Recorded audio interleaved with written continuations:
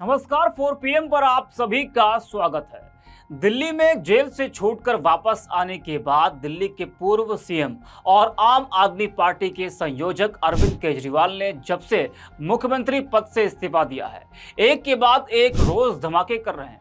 बस इस बार केजरीवाल अभी खुलकर सामने आकर हमला नहीं कर रहे हैं, बल्कि पर्दे के पीछे से वो सियासी गोटियाँ बिछा रहे हैं। पूर्व सीएम केजरीवाल ने पहला धमाका किया मुख्यमंत्री पद से इस्तीफा देने का। उसके बाद दूसरा धमाका मुख्यमंत्री पद के लिए पहली बार के विधायक आतिशी मरलेना के नाम को आगे कर सबको चौंका दिया।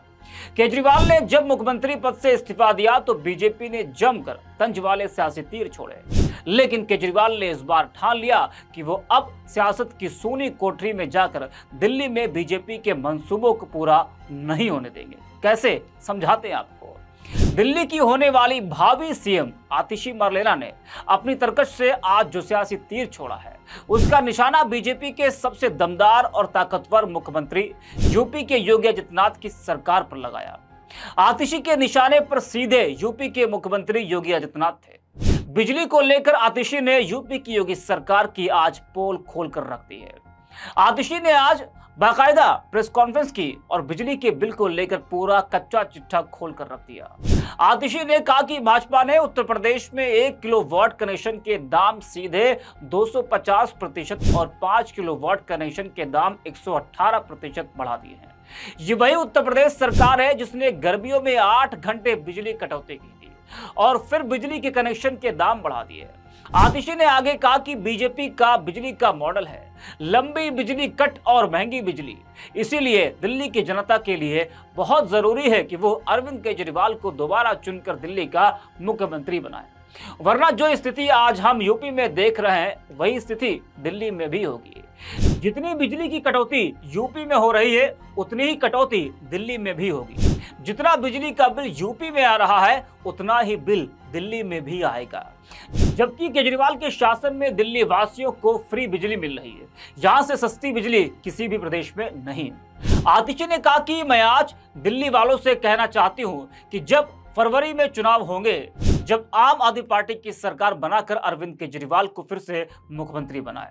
तभी दिल्ली में 24 घंटे बिजली और सबसे सस्ती बिजली मिलेगी। आने वाले चार महीने में जब तक मेरे पास मुख्यमंत्री की ज़िम्मेदारी है, मैं दिल्ली की जनता की सुरक्षा करने की पूरी कोशिश करूँगी और दिल्ली को 24 घंटे बिजली मिलेगी, इसकी गारंटी देती हूँ। दिल्ली वासियों पर आज बिजली के बिल का बोझ नहीं है। दिल्ली के लोगों को बिजली के बिल की चिंता नहीं करनी पड़ती और दिल्ली में बिजली कटौती भी नहीं होती है। आतिशी, यही नहीं रुकी। यूपी की योगी सरकार पर निशाना साधते हुए कहा कि बीजेपी की उत्तर प्रदेश की योगी सरकार ने बिजली कनेक्शन के दाम बढ़ा दिए। पहले एक किलो वाट के कनेक्शन के लिए जहाँ बारह सौ रुपये दिए जा जाते थे, अब उसके लिए उपभोक्ताओं को तीन हज़ार रुपये देने होंगे। वही पाँच किलो वाट के कनेक्शन के लिए सात हज़ार नौ सौ सड़सठ रुपए देने होते थे। अब इसी कनेक्शन के लिए यूपी वालों को सत्रह हज़ार तीन सौ पैंसठ रुपए देने होंगे। यूपी के लोगों को इतनी महँगी बिजली मिलने के बावजूद इस साल गर्मियों में उन्हें आठ आठ घंटे के पावर कट झेलने पड़ रहे हैं।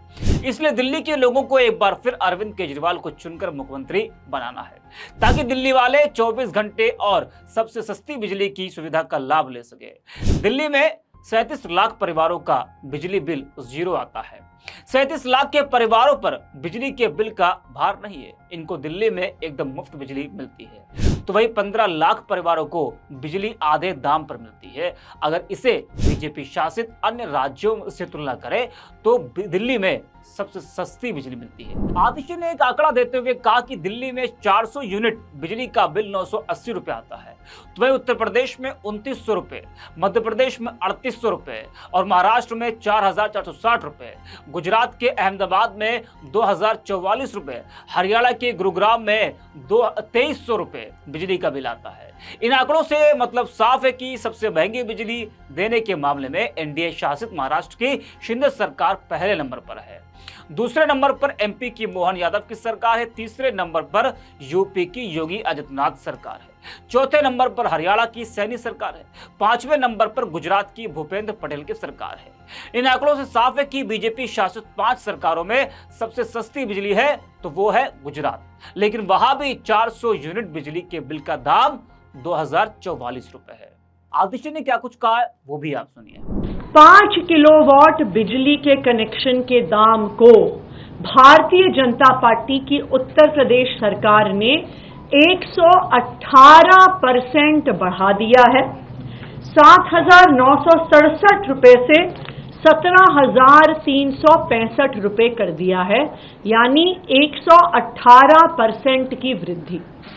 एक किलोवाट के कनेक्शन के लिए 250 परसेंट की वृद्धि। पाँच किलो वॉट के कनेक्शन के लिए 118 परसेंट की वृद्धि। और ये वही भारतीय जनता पार्टी की उत्तर प्रदेश की सरकार है, जिसने इस साल गर्मी के मौसम में आठ आठ घंटे के पावर कट लगाए। और ये आठ आठ घंटे के पावर कट किसी दूर दराज के गाँव में नहीं लग रहे थे। ये आठ घंटे के पावर कट नोएडा में लग रहे थे। ग्रेटर नोएडा में लग रहे थे। गाजियाबाद में लग रहे थे। साहिबाबाद में लग रहे थे। तो भारतीय जनता पार्टी का बिजली का क्या मॉडल है? भारतीय जनता पार्टी का मॉडल है लंबे लंबे पावर कट और सबसे महँगी बिजली। यही कारण है कि दिल्ली वालों के लिए बहुत ज़रूरी है कि वो फिर से अरविंद केजरीवाल जी को चुन के लेके आए और अरविंद केजरीवाल जी को फिर से दिल्ली का मुख्यमंत्री बनाए। वरना जो आज हम उत्तर प्रदेश में देख रहे हैं कि महँगी बिजली, लंबे लंबे पावर कट वो ही फिर हमें दिल्ली में भी देखने को मिलेगा। आज अरविंद केजरीवाल जी का क्या बिजली का मॉडल है? आम आदमी पार्टी की दिल्ली सरकार का क्या बिजली का मॉडल है? अरविंद केजरीवाल का मॉडल है 24 घंटे बिजली और सबसे सस्ती बिजली। दिल्ली में सैंतीस लाख ऐसे उपभोक्ता हैं, सैंतीस लाख परिवार हैं, जिनका बिजली का बिल ज़ीरो आता है। पंद्रह लाख ऐसे परिवार हैं, जिनको बिजली के बिल आधे दाम पर मिलते हैं, जो 200 यूनिट और 400 यूनिट के बीच में इस्तेमाल करते हैं। हमें कहा जाता है कि जी, दिल्ली में बिजली सस्ती थोड़ी है, आप तो सिर्फ़ सब्सिडी दे देते हो। इसीलिए मैं आपके पास आंकड़े लेकर आई हूँ कि 400 यूनिट के ऊपर का बिजली का बिल, जहाँ पर दिल्ली की सरकार कोई सब्सिडी नहीं देती। अगर आप उसको भी भारतीय जनता पार्टी शासित सरकारों से कंपेयर करेंगे तो दिल्ली में सबसे सस्ती बिजली मिलती है। आदिशी ने कहा कि फैसला आपके हाथ में है।